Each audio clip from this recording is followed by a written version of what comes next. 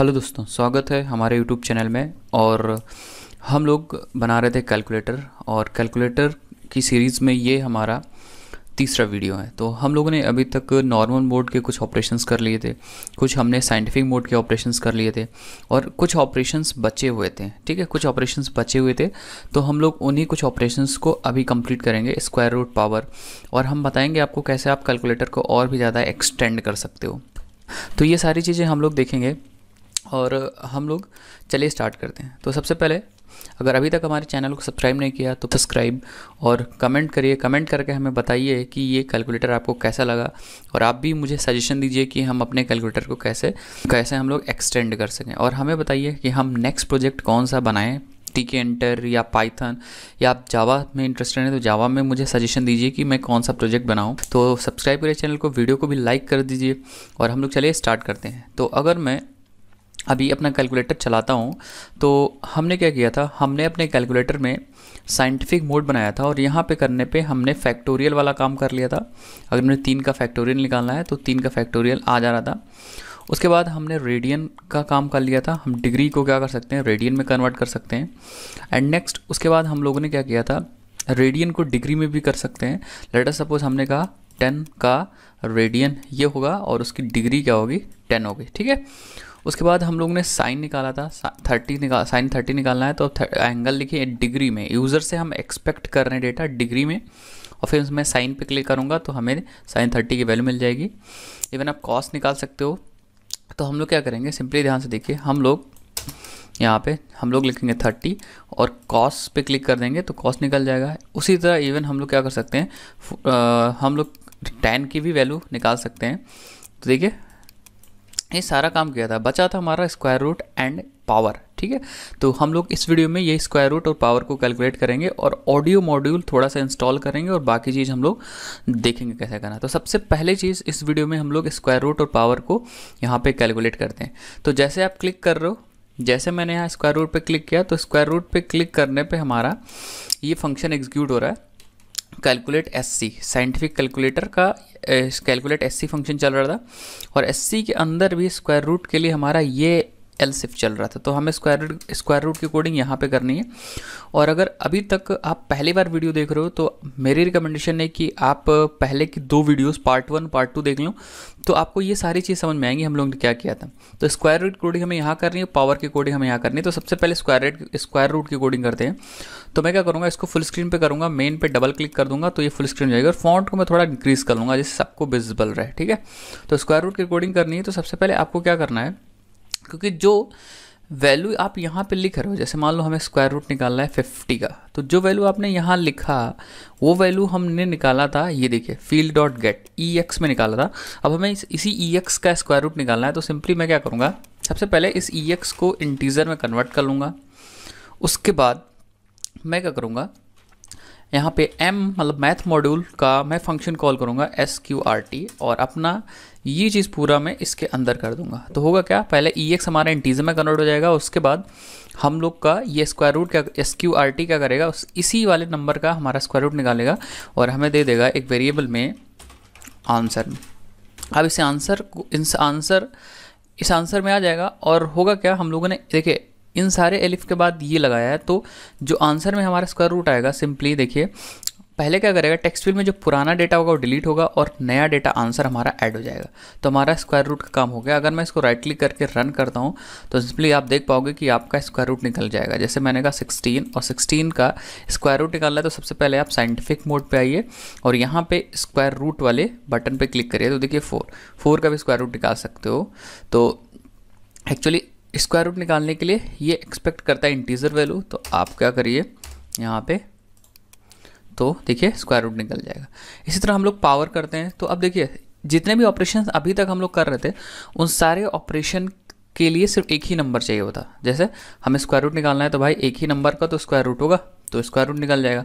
हमें अगर फैक्टोरियल निकालना है तो भी हमें एक ही नंबर का फैक्टोरियल निकालना होता था, तीन या फिर हम लोग सिक्स मतलब जितने भी आपको ऑपरेशन कर रहे थे, एक ही नंबर यूज़ कर रहे थे हम लोग यहाँ।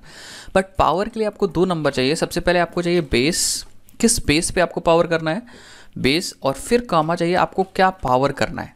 तो मैं जो अपने कैलकुलेटर में क्या करूँगा बेस और पावर इसी फॉर्मेट में लूँगा। दैट मीन्स अगर आपको पावर निकालना है तो सबसे पहले आप बेस लिखिए कॉमा उसके बाद पावर लगाइए। दैट मीन्स अगर मुझे टू टू पावर थ्री करना है तो आप टू कॉमा थ्री लिखिए। तभी हमारा पावर कैलकुलेट होगा। अगर टू कॉमा थ्री लिखेंगे तो पावर कैलकुलेट नहीं होगा।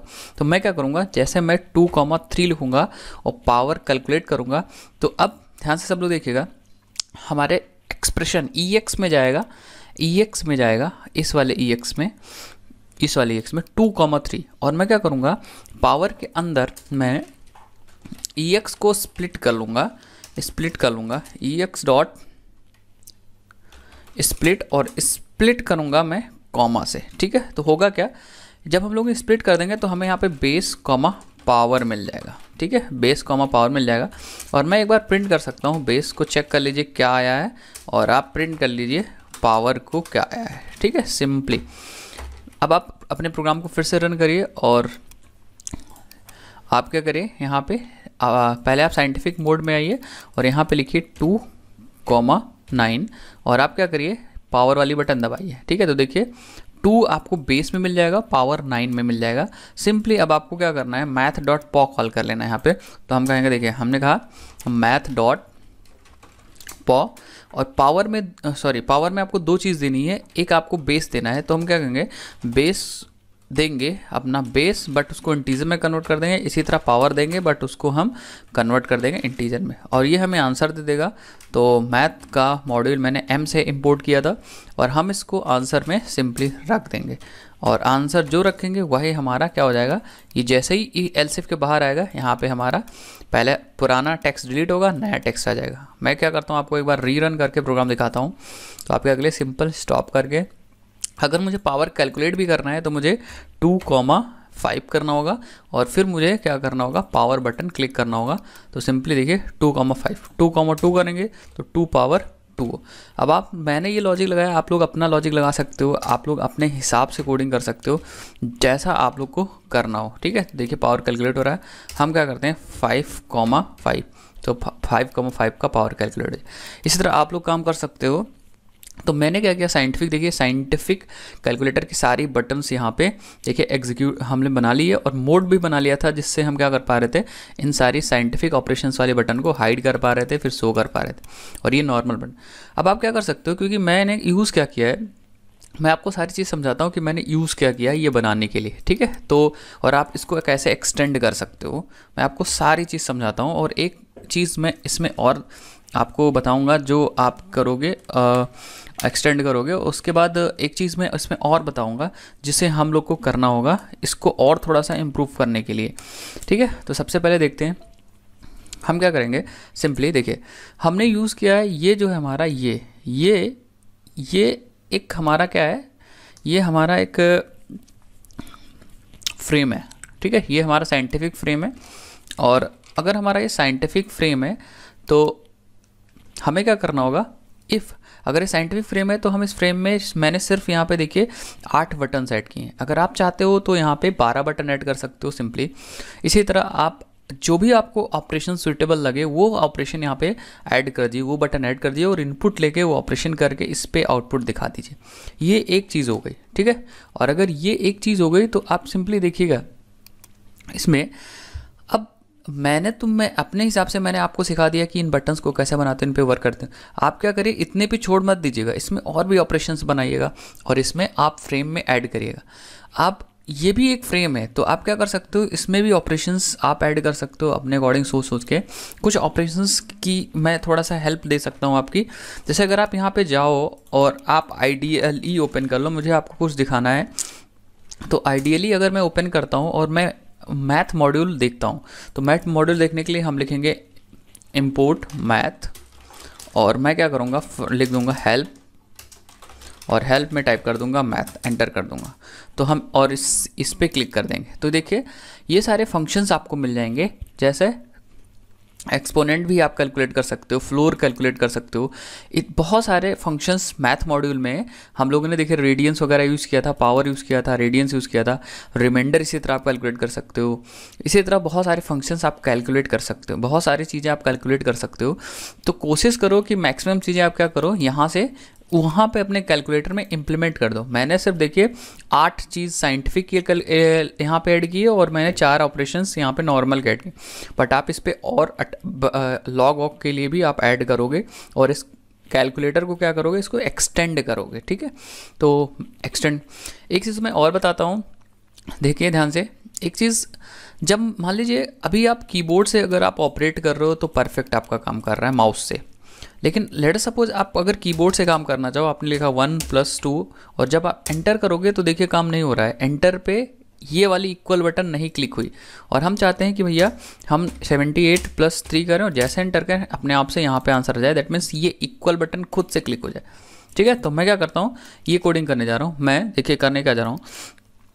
एट लास्ट ईयर आप क्या कर सकते हो? यहाँ पे भी, जहाँ आपका ये वाला, देखिए, जहाँ आपका ये बाइंडिंग वाला ख़त्म होता है यहाँ आप क्या करो, अपनी विंडो को बाइंड कर दो बाइंड कर दो। बाइंड करने में यहाँ पे इवेंट देना होता है, किस टाइप का इवेंट आप हैंडल करना चाहते हो। तो मैं यहाँ रिटर्न कर इवेंट हैंडल करूँगा रिटर्न रिटर्न का मतलब होता है एंटर की। तो ये जैसे ही आप अपने फ्रेम पे दैट मीन्स अपने पूरी विंडो पे जैसे आप एंटर दबाओगे तो इसके अंदर जो फ़ंक्शन हम देंगे एंटर क्लिक्ड अब ये फ़ंक्शन कॉल हो जाएगा अपने आप। तो जैसे आप एंटर दबाओगे अपने विंडो पे, ये फ़ंक्शन कॉल हो जाएगा। और अगर ये फ़ंक्शन कॉल हो गया तो मैं क्या करूँगा, एक फ़ंक्शन बना लूँगा। एंटर क्लिक देखिएगा एंटर क्लिक और सिंपली जैसे ही फ़ंक्शन यहाँ से कॉल होगा, हम क्या करेंगे, देखिएगा, हम क्या करेंगे, अपना कैलसी वाला क्लिक बटन फ़ंक्शन कॉल कर लेंगे, ये वाला बेसिकली कौन सा फ़ंक्शन अपना ऊपर चलते हैं ऊपर चलते हैं अपना ये वाला फ़ंक्शन कॉल कर लेंगे। क्लिक बटन फ़ंक्शन और इसको हमें देना है इवेंट एक इवेंट का ऑब्जेक्ट देना है। तो सिंपली हम क्या करेंगे? एक ऑब्जेक्ट बना के पास कर देंगे अपने इस वाले फ़ंक्शन में। देखते हैं कहाँ पे? यहाँ पे।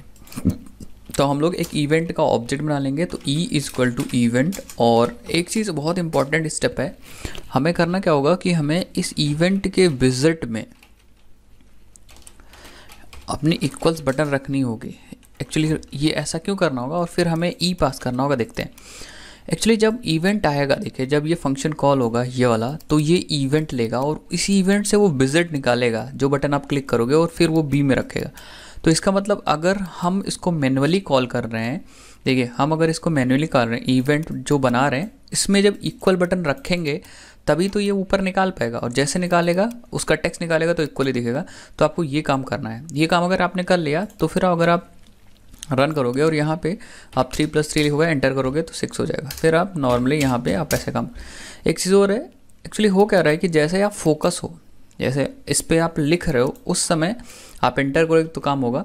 और अगर आप बाहर हो जैसे मान लो, फ़िलहाल तो आप बाहर नहीं हो, लेकिन अगर आप फिर से री रन करते हो प्रोग्राम तो इस समय आप देखो, यहाँ पे फोकस नहीं है, लिख नहीं पाओगे, लेकिन फिर भी एंटर करोगे, तब भी प्रोग्राम चल जाएगा, ठीक है? तो हम लोग क्या करेंगे कि, जब हम लोग यहाँ पे टाइप कर रहे हो और एंटर करें, तभी वो इक्वल्स चले। तो इसके लिए जो मैं बाइंड मैंने विंडो पे किया था, उसको बाइंड में टेक्स्ट फ़ील्ड पे कर दूँगा सिंपली राइट क्लिक करूँगा रन करूँगा। अब अगर बाहर हो गए एंटर करोगे तो नहीं काम होगा, क्योंकि अब आपने बाइंड टेक्स्ट फ़ील्ड के एंटर को किया। दैट मीन्स अगर आप थ्री प्लस सिक्स यहाँ पर रहोगे तो आपका काम होगा अदरवाइज़ ये काम नहीं होगा। इसी तरह आप यहाँ पे बैक स्पेस को बाइंड कर सकते हो इससे वैसे बैक स्पेस तो ऑलरेडी बाइंड है, कोई दिक्कत नहीं। तो फाइव अब आप ऑपरेशन परफॉर्म करते हो five plus six enter eleven plus nine enter plus six enter ठीक है तो यहाँ पे हमने क्या किया? एंटर से भी काम कर लिया और हमारा अब साइंटिफिक कैलकुलेटर एकदम कंप्लीट है। अब हमें ऑडियो लगाना है। ऑडियो के लिए हम लोग क्या करेंगे? नेक्स्ट वीडियो बनाएँगे और नेक्स्ट वीडियो में हम लोग देखेंगे कि ऑडियो कैसे लगाना है। मैं आपको बता देता हूँ एक बार डेमो की ऑडियो कैसे हम लोग बनाएँगे। हम लोग क्या करेंगे? ऑडियो बनाने के लिए सिंपली हम लोग यहाँ एक ऑप्शन देंगे ऑडियो का। अगर ऑडियो आप चेक कर दोगे तो वन क्लिक करोगे तो ये स्पीक भी करेगा वन प्लस टू इक्वल्स आपका जो आंसर होगा वो भी स्पीक करेगा, ठीक है? बट कोई अगर ऑडियो नहीं सुनना चाह रहा है तो हम यहाँ पे क्या करेंगे, उस ऑडियो को अनचेक कर देंगे। जैसे अनचेक कर देंगे तो नॉर्मल आपका काम करेंगे। अगर आपको ऑडियो चाहिए तो आप यहाँ पे इसको क्लिक करके ऑडियो भी कर सकते हो। या आप मेल फीमेल भी कर सकते हो, उसका भी हम लोग ऑप्शन बना लेंगे, इसको एक्सटेंड करने का। तो नेक्स्ट वीडियो में हम लोग ऑडियो लगाएँगे और इस कैलकुलेटर को कंप्लीट करेंगे, जिससे कि हम लोग नेक्स्ट वीडियोस अपलोड कर पाएँ। अगर आपको ये कैलकुलेटर अच्छा लगा, अगर आपको कुछ सीखने को मिला तो आप क्या करिए, वीडियो को लाइक करिए शेयर करिए और चैनल को ज़रूर सब्सक्राइब करिए। Thank you for watching this video bye bye